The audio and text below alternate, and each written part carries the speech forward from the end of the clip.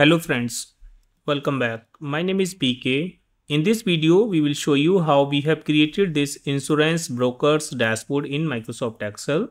This is a ready to use dashboard to analyze the broker commissions and the insurance policies and the other insurance related activities in Microsoft Excel. This is the overview page of this dashboard wherein we are showing the total number of policies, total premium collected, total commission paid to the commission agents and this is the average premium per policy. Percentage of the expired policies on this bar chart, percentage of active policies. This is number of active policies by commission type like how many we have on the percentage and how many we have on the flat rate. So this is the commission type uh, for the active policies only.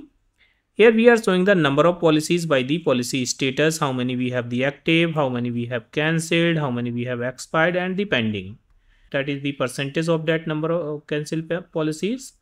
On the left hand side and the right hand side we have created few slicers so that you can filter the data as per your requirement. If I click on any month then you can see data is getting filtered or I select any policy type then you can see it is getting filtered. Or I click on the insurance type then this is getting filtered you can see. On the top we have given the navigation pane this is the overview page. And if i click on the this go to agent performance as i click it will take me to the agent performance page. Here we are showing the agent level performance on this page. This is the number of policies by the agent name. So you can see on this chart. And here we are showing the this is the number of active versus cancelled policies by agent region. So here we have taken the five different regions for the every agent. So we have uh, segregated all the agent into five different regions central east north south and west. Okay so we are comparing this by the agent region. This is the total premium collected versus commission paid by the agent on this combo chart and here we are showing the number of expired policies by the agent name that is the percentage of expired policies. And again we have the slicer so you can just filter this. Let's say i want to see wherein payment mode is annually. So this is only for those policies monthly or the quarterly or wherein commission type was flat rate or the percentage. So you can see that as you want and then the next page is the commission analysis page. So you can just click here and it will take you to the commission analysis page. On this page we are showing the number of policies by the commission type which is flat and percentage. So these are the total policies and uh, you can see the maximum is on the flat rate. Then total premium collected by the commission type. So this is in the percentage you can see not in the flat and this is the percentage active policies by commission type. And this is the total commission paid by commission type okay? And again you can filter the data as you want. Automatically that will be filtered using the slicers. The next page is the policies revenue and payouts. So here we are showing the total revenue collected in dollar by payment mode. So we have three type of payment mode annually monthly and quarterly. So you can see the total collected amount here. And this is the number of active versus cancel policies by payment method. So that is again annually monthly and quarterly. Okay you can see the active policies dark green this and light green is cancel policies. This is the number of expired policies by the payment mode and this is the percentage active policies by agent region now again you can filter as per your requirement. Let's say i want to filter by month and or i want to see for this month or i want to see the policy type or insurance type as auto or health insurance or life insurance only. So you can filter that. Accordingly it will show the all analysis. Now let me go to the monthly trend page and here we are showing the month on month trend on the first chart, we are showing the number of policies by the month. This is the number of active versus cancelled policies by the month. And this is percentage of expired policies by the month. And here we are showing the total premium collected versus commission paid by the month. So here we are showing all high level summary but if you want to see let's say only for the auto insurance this all things then this is for the auto insurance or the health insurance okay so whatever you want to see here accordingly you can filter that. Now we will show you the data also how you can add the data here. So first let's go to the file and then go to the options. Go to the advanced and just scroll it down. And here just select the show sheet tabs click on ok now here at bottom we can see all the C tabs like overview agent performance commission analysis policy revenue and payout monthly trend. Here we have the data. In the data we have the policy id agent name agent region insurance type client name.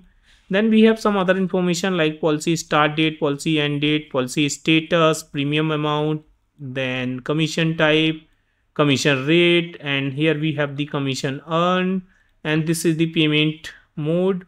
Then here we have created few formulas like uh, active policies to get the number of active policies cancel policy expired month year and the total policy to create the calculated fields in the pivot table.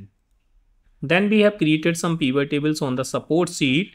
So on the basis of this support sheet, we have created all the charts in all other pages and here we have created all the pivot tables wherein we are capturing all information to create the cards and the charts.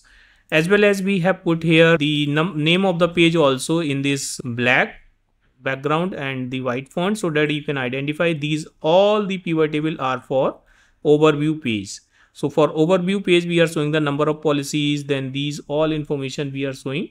And then if I scroll it right, now we have come to the another page that is agent performance, the second page. Okay, for the second page, we are creating these all pivot tables. Then this is for the third page. Then these are for the fourth page and fifth page. Okay, so we have put the page name also here now we will show you how we have created this. So if I come to the overview page, you can just unprotect this and just go to the review and just unprotect this sheet. Then this sheet is unprotected and these all the charts which we have created are appearing here. We will show you how we have created this one also. But first let me show you these all design are based on the Excel shapes and here we have used the various rectangles and the charts okay if you want to learn in detail these all different type of advanced level charts and how we can customize this type of slicers also, you can join our Udemy course. We have given the link in the video description box wherein we have explained each and everything in detail how you can uh, create your custom slicer as per your uh, dashboard theme and how you can create the advanced level chart like battery chart and this type of container chart and some other kind of charts also and you will get the practice file for uh, each and every charts also so that you can practice with me inside that course the link is given in the video description box you can join it. I will quickly show you also here also how you can create this type of design. Let me add a seed here and uh, let's insert a rectangle from here. So you can take this rectangle to create the background and then go to the shape format and let's say i'm taking this kind of light color. So this is what we have taken in the background and then you can create this type of header shape also. So let's come to the sheet one. And here if you want to create the rounded corner like we have created you can go to the shape again and you can edit this shape. So let's take this one. Okay so we can see the rounded corner here. Just pick this yellow handle and move to the right hand side to change the radius of the corners. Let's keep this here. Go to the view and uncheck the grid lines from here now we will insert another uh, rectangle the same rectangle. So either you can make the copy of this copy and paste here. So we have two rectangles and just make this smaller like this. And here we can fill the dark color. Let's say i'm taking this color and then go to the uh, same shape fill and you can change the dark variation of the gradient this one now just remove the shape outline just say no outline and same the background rectangle also. And pick this yellow handle move to the left hand side. So we will match the radius like this and reduce the height now. All right so that is how we have created this shape on the top. And then you can just take the text box or the word art from here. Let's say i'm taking this one and here you can put let's say insurance dashboard. And you can take the white color font make it smaller.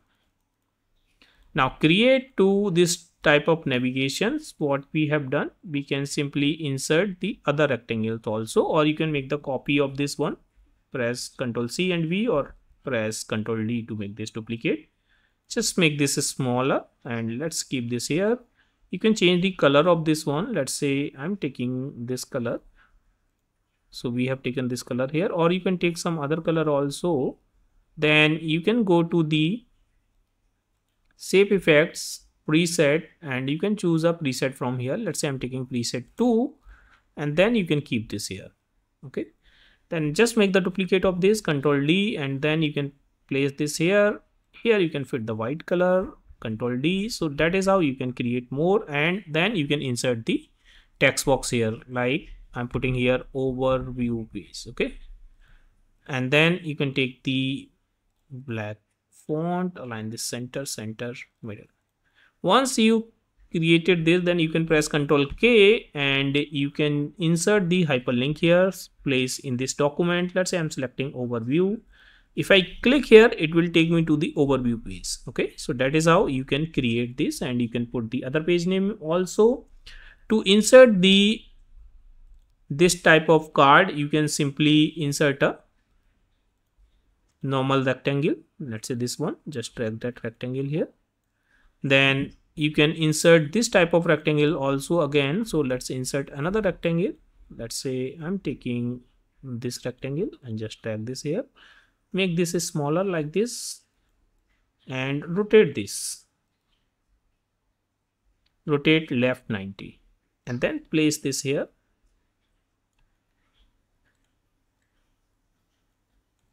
okay now for the bigger rectangle we will fill the white color and for this one we will fill this green color. We can make the outline this one and uh, take the weight of the outline half point. Same for this one also same outline and uh, weight half point. So that is how we have created and you can adjust the radius for this one also. All right so the shape is ready this is what we have done here. And then you can just use the gradient fill also. Go to the shape fill gradient and choose some gradient fill here like this. Once this is done then you can insert the text box. Just drag the text box here. Click on the outline of the text box. Go to the formula bar press equal to. Then just go to the support sheet. And here we have created these pivot tables. So let's click on the title of this and just hit the enter. So we can see it is showing that title here also align this center center. And let's say i'm taking this font color bold bigger. Go to the shape format shape outline choose no outline for the text box. And uh, for the shape fill take no fill. Press ctrl d to make this duplicate and just place this here. And here we will connect with the support sheet and number of policies and just hit the enter. Now take this and click on the format painter and just click here. Now you can make this bigger and take slightly darker color. So it is showing the number of policies here. Okay, so that is how we have created all the cards. If you want to learn in detail how we have created this type of charts also and this type of slicers also, you can join our course to learn more about this. The link is given in the video's description box.